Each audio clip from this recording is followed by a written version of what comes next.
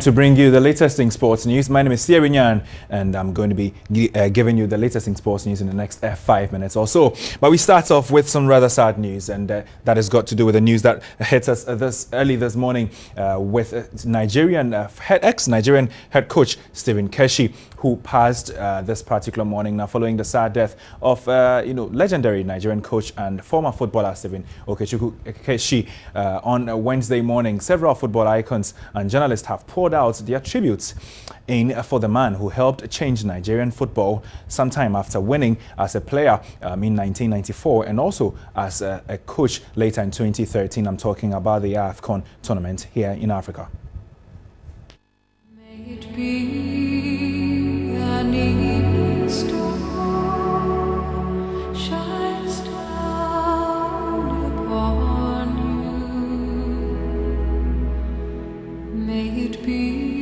Ironies don't come in bigger packets.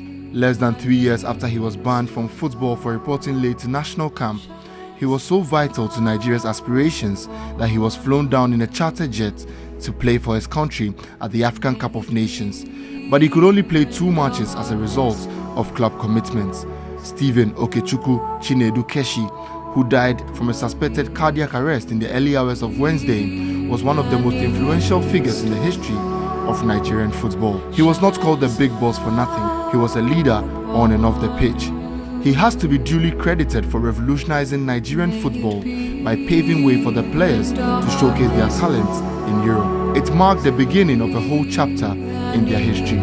Journalists and football icons on the continent have expressed their condolences on social media after the sudden death of the former Mali and Togo coach.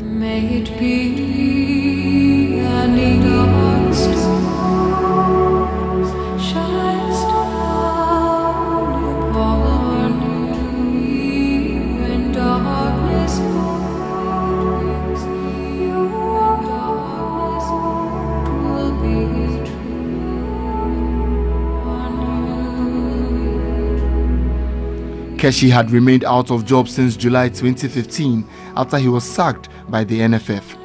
He was believed to be gradually recovering from his wife's death in December. Recently, there were rumors that Orlando Pirates of South Africa had shortlisted him for a coaching vacancy. Keshi has kicked the bucket and will never kick a football again. A big loss to African football.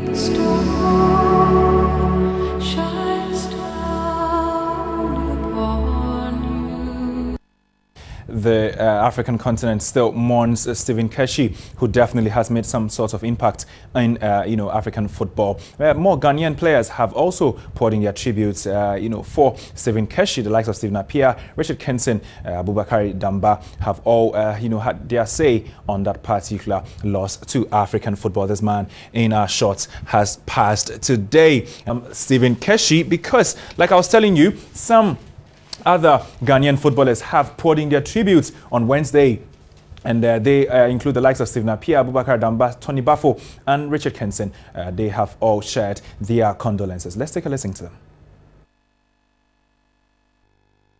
Oh, it's very sad. Uh, this is my first time of hearing it. And uh, all the same, we, we all belong to be there. And uh, I would just say very sorry to the family and to all the relatives and the friends. Uh, everybody have to be strong because it's something that nobody can tell. It, it, it can happen to anybody. Sad that he's gone, but there's nothing we can do about it. Having said that, yes, Stephen Keshi, apart from the fact that he was a professional, he was a good guy.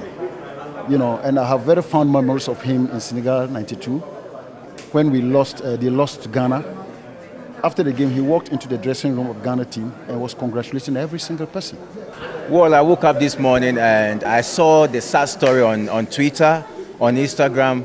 I mean, it's so sad that uh, Stevie Keshi is one of uh, the legends that we have in Africa. And I remember always when he sees us, people like me, and the love that he showed, his advice, uh, living today is a big blow for us. Yeah, the sad news affectionately called the big boss Keshi. Um, he was not only a player who won the African Cup uh, as a player and a coach, um, he was a guy who cared for others. it's quite sad. That tells me also we must take good care of ourselves.